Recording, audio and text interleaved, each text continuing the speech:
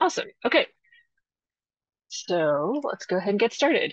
Um, quick overview of kind of what we're going to talk about today. Um, we are going to, I'm going to start with an overview of the community-based transportation planning webinar or uh, set aside, um, talk a little bit about purpose and goals, um, go over types of projects that would be eligible and the types of um, organizations that can um, submit letters of interest, and then just um, cover some of the requirements we anticipate and additional details. Um, I will kind of flash one um, example, quick example from our pilot program that we're doing with Edgewater, and then definitely should have plenty of time at the end to take questions. Um, just final note, we will be recording this and sending it out afterwards. So if you want to share it with anyone, um, feel free to pass that along. I'll probably email it to registrants a day or two afterwards. All right, and again, as questions come up, feel free to pop those into the chat.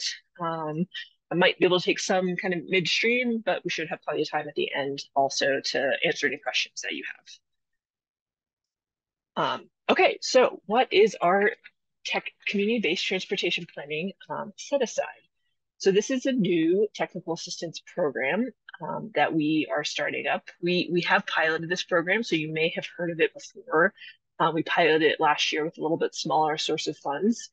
Um, and now the program is kind of being formalized as part of our 2024 to 2027 set aside. So we do have two and a half million dollars uh, available for these projects over that four year period, 2024 to 2027. And those are the, the federal fiscal years, so started a month ago or so. Um, we are planning on splitting that dollar amount into uh, two two-year funding cycles. So we're going to have two calls for projects anticipated.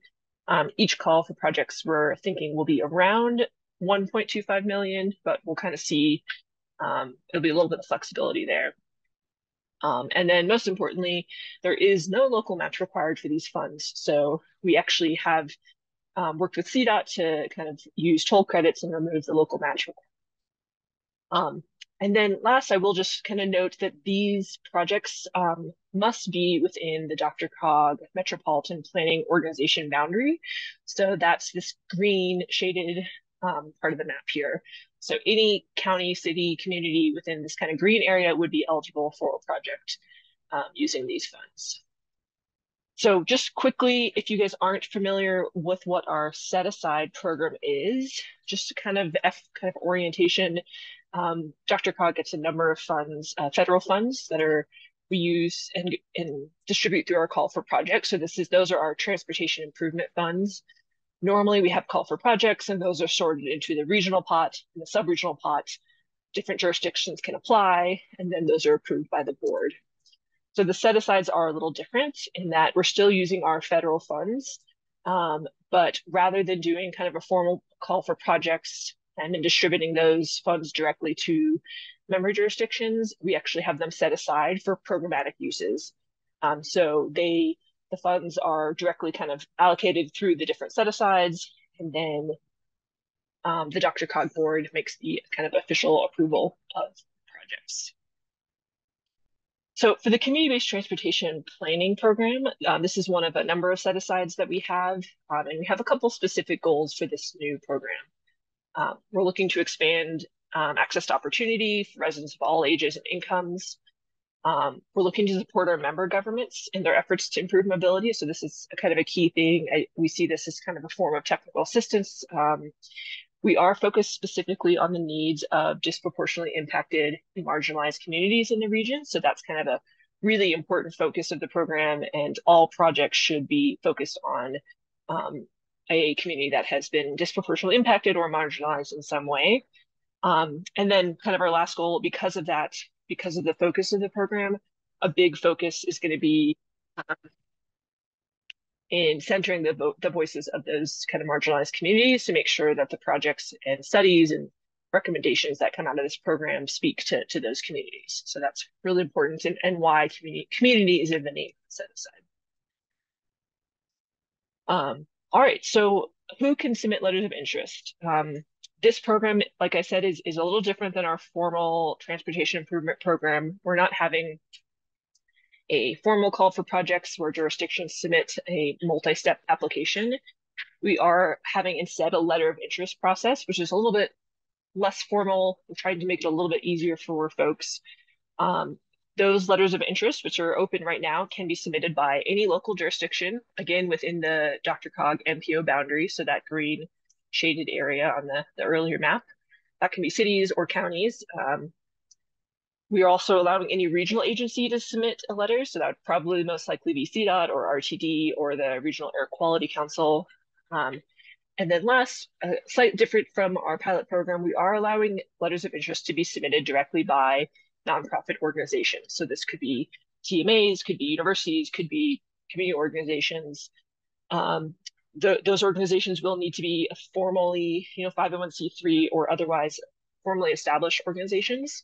Um, and if a letter is coming from a nonprofit organization, that letter of interest will require a letter of support from the impacted local jurisdiction. So if you are, for example, in the city of Edgewater and you're a nonprofit and you want to submit a letter of interest, that's great, but you would need the city of Edgewater in that case to submit um, a letter of support for your letter of interest. All right, so what type of projects could fit into this program? Um, we actually wanted to keep this pretty broad. So um, any type of transportation study or planning effort would be eligible for this program as long as that effort is related and centers the historically marginalized communities. So um, there's a list here of different types. There's probably more that aren't on this list. Um, a few kind of clear notes here. So these are planning funds. So we won't be able to do construction. We won't be able to do um, detailed design. We're going to be sticking to the planning um, and or study phase of any project. Um, and then again, the key for all of these is that the, the focus of the, of the study or the plan should be on um, one of the historically or on the historically marginalized community that you identify in your letter of interest. Um, but there are a number of different types, anything related to transportation, corridor plans, sub-area plans, first last mile studies, um, school plans, um, etc. Um, a couple kind of key elements we want to make sure are in all um, projects. So, you know, these are kind of related. Um, we do want to, again, make sure that the studies are centering those historically marginalized communities. So you could identify that community in your letter of interest, but that community should then kind of be the, the group we're thinking about in doing the study.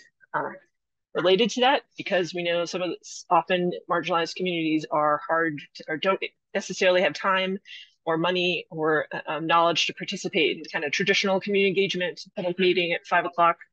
Um, we do want to focus on extensive community engagement. Um, we're open to a lot of different ways of doing this, but community engagement should be a major part of each of the studies or projects. Um, then the third kind of key element we're looking at is we want these projects to be implementation oriented. Um, we don't want to just do a study that sits on a shelf. We want these studies and, and um, plans to really help identify projects and help um, a, a, local community move um, forward specific projects or programs so that mobility can improve for um, the community members. So that's part of why we require the letter of interest for the nonprofit, um, letter of support, sorry, from the nonprofits is to just make sure if we're recommending infrastructure or programs that would have to be run by a government, that the governments are at least on the same page and, and willing to help kind of participate and, and support those projects. Um, I did want to have add a kind of a note about what we mean by historically disadvantaged, and I'm kind of using a couple terms um, interchangeably. Um, part of that is because we are allowing the person or the organization submitting the letter of interest to define for themselves what historically disadvantaged, historically marginalized, um, equity community they would like to focus on. There's kind of two main ways you can do that. Um, you could do one or both of these. So first would be a quantitative analysis. So using a demographic tool uh, to say that this community you're focused on is low income or has a higher proportion of communities of color or something like that. Um, the second option would be to um, do a qualitative description. So we know that um, you know the demographic and census tract analysis doesn't capture every everything and kind of the nuances of each community. So if you if there's a community that maybe doesn't hit all the census tract kind of numbers, um, but you still know of a specific community within that area, um, you can also describe um, how the target community has been historically disadvantaged. Um, I am going to take a, a brief interlude here to show you the DRCOG Equity Index. Um, so let me make sure I'm sharing the right screen. Um, so if you aren't, hopefully you're seeing this. If not, chat at me. um, so the, if you aren't familiar with the DRCOG Equity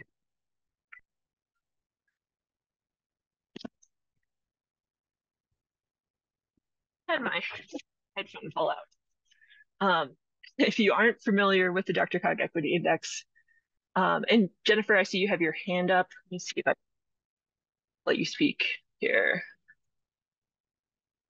Um,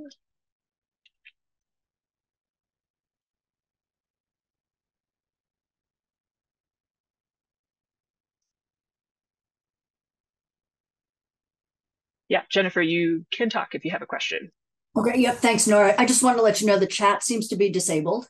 So if you're looking oh, for good to know. That might not be an option. At least it's not for me. So Oh, perfect. I think I fixed it. So perfect. try now. Perfect. Thank you. I appreciate it. Yes, thanks for for interrupting and letting me know. Of course. um Okay, so the Dr. DRCOG Equity Index, I just wanted to flash this for folks who who maybe aren't as familiar. It is a new tool that we released in the last um, year or so.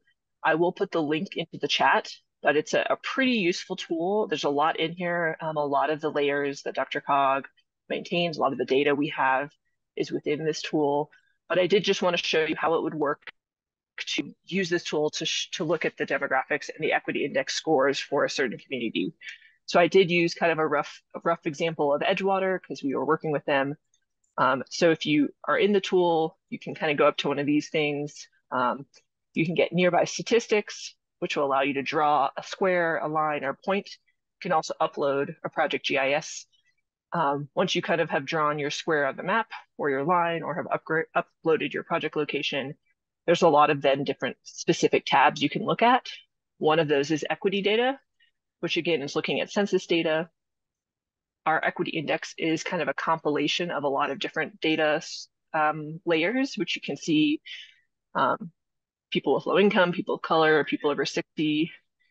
Um, but if you scroll all the way to the end, you can see um, what the average equity index score for your area is, um, as well as the three domains. So our equity index score is basically made up of three buckets. Um, each of those buckets is scored individually, and then they're rolled up together into a final score. So if we're looking at the city of Edgewater, roughly, I know this isn't their exact boundary, we could say um, this area um, usually the scores are up to 45 or so. So this area has a very high um, score for economic domain, which means there's probably a lot of low income people in this area. It has a medium score for mobility domain. So those are whether or not the people in the community might have mobility barriers. And then it has kind of a, a medium high score for race and national origin, indicating there might be more people of color. So in the letter of interest for Edgewater, we could cite some of these stats and say um, this, this blue section in particular is in the top quartile um, for the total equity index score compared to the region as a whole. But um, Edgewater in this case could also say, well, even though you know maybe some of these areas have a lower score, we know that there's a specific group of folks that we want to focus on that maybe um, aren't represented entirely by the data. So again, I'll put this uh, um, link into the chat. Um, it's a great tool. And if you have more detailed questions about this, I can certainly connect you with folks with Dr. DRCOG, who can answer that. So back to the presentation here. Um, couple expectations that we just wanted to highlight.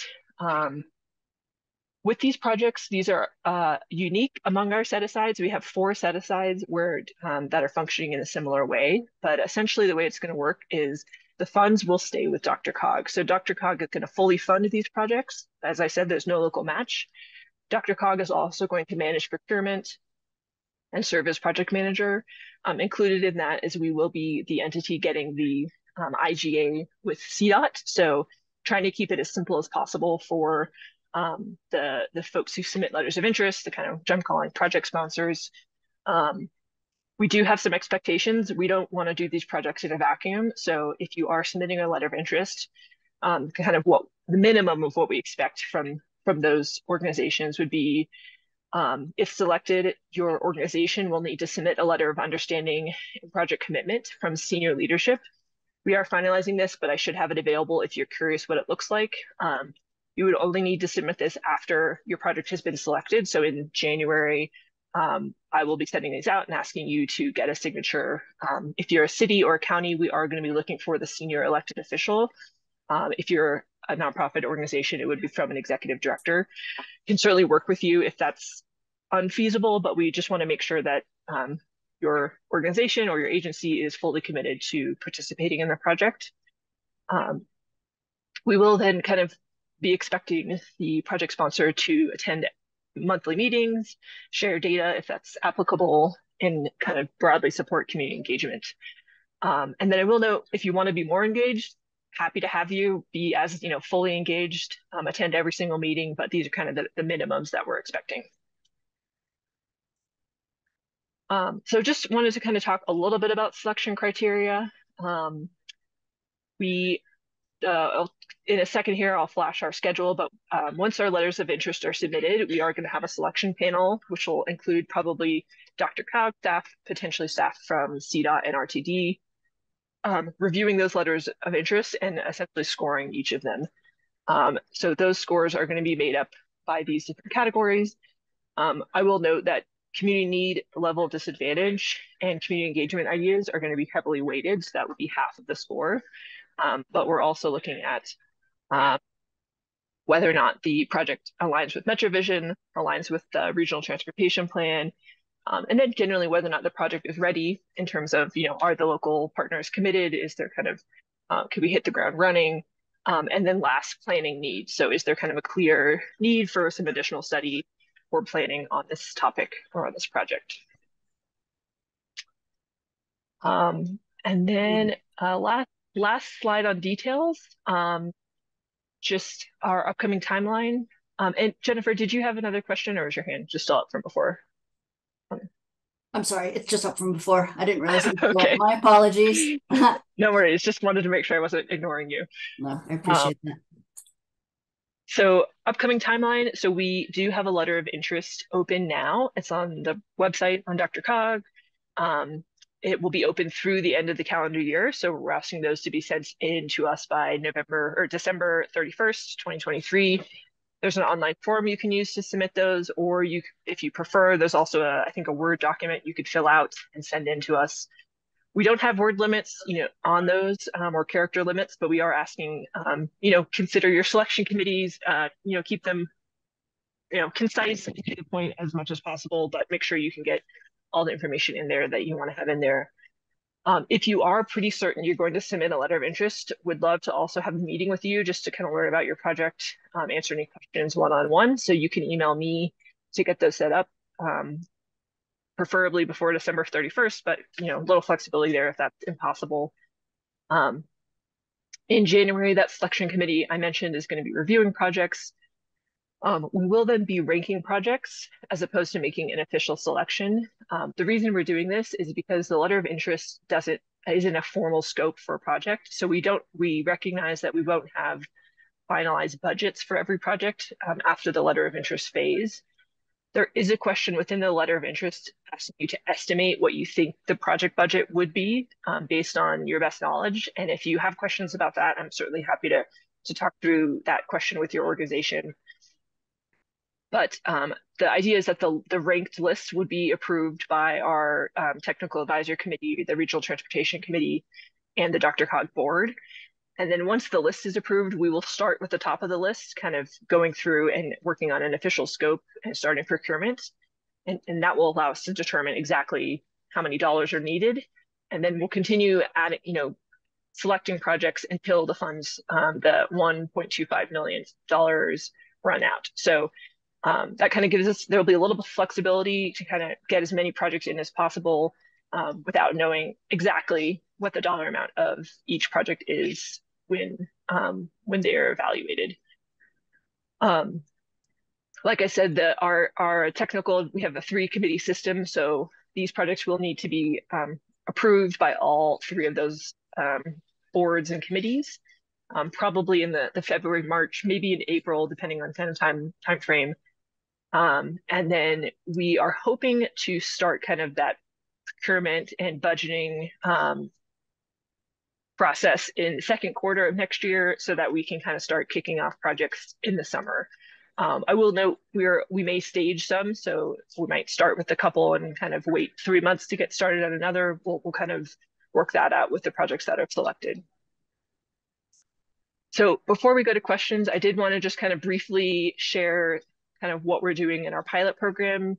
Maybe it jostle some ideas, um, but it's been so far we're off to a good start. We did select two projects for our pilot program. So our first is in Edgewater, and the second is a kind of first last mile study in um, Westminster and Adams County, which we're going to be starting in January. So the Edgewater um, community-based transportation plan, um, it's kind of a school transportation plan. So we're looking at improving safety and traffic around two elementary schools, um, which you can see here in the little map. Um, this project was selected, I think, for a number of reasons. First of all, Edgewater, particularly the attendance of these school, these three schools um, are uh, majority Spanish speaking, majority low income. Um, there's a lot of kind of different challenges with some of these communities. Um, so we felt like there was a high need, and, and certainly um, some of the communities haven't been included in past planning efforts.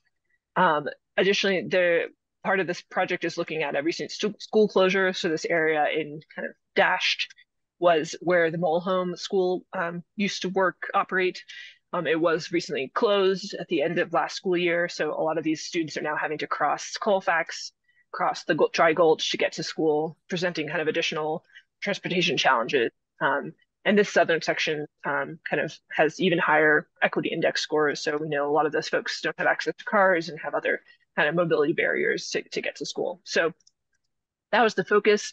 Here's kind of how the project is set up. So we are providing funding and doing kind of coordinating. Um, we're also kind of playing a larger role in engagement on this project. We are working kind of with two two groups that are formally under contract. So Y2K Engineering is doing the um, planning and engineering work, but we also have Edgewater Collective under contract. They're a, local community organization, and they um, are contracted to help with um, engagement as well as translation, um, and they work a lot with the, the school community, particularly the Spanish-speaking community in Edgewater. Um, and then, of course, the city of Edgewater is kind of the, the primary partner, um, agency partner, so we're, we're, working closely with them, and then if the as well as the Jeffco Public Schools. So, just an example of kind of how it could be set up. Um, you know, the project scope, nothing too crazy. Um, you can see we have a pretty extensive engagement um, bucket for the scope, uh, working closely with Edgewater Collective. Um, we've been doing focus groups. They're working with their kind of people they already um, serve, website, social media, pop up, um, those sorts of things. Um, we're also doing, you know, existing conditions analysis, technical analysis, and then we're putting together a final plan with recommendations for the schools um, and for kind of the community more broadly. So just a quick example to kind of highlight what a community-based transportation plan could look like um, but like I said, we're open to a lot of um, variety and, and creativity and kind of how these are set up and what the focus is. So with that, that's the end of my formal presentation, but would love to see if there are any questions. Um, I